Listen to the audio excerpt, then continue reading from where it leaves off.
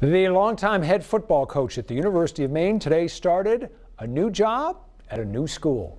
Jack Cosgrove is the new head coach of Colby College. Cosgrove led the Division One UMaine Black Bears to five NCAA postseason appearances and three conference titles before stepping down in 2015 after 23 years.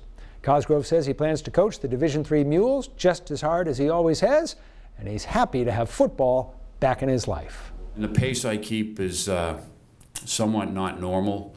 Um, and I, not that I'm going to change that, but I, I feel as if uh, uh, I'm, I'm, completely prepared for it. And I want to embrace it, and, and I want to uh, uh, really get the most out of it. Colby's players say they're excited to have such an experienced and successful coach on board.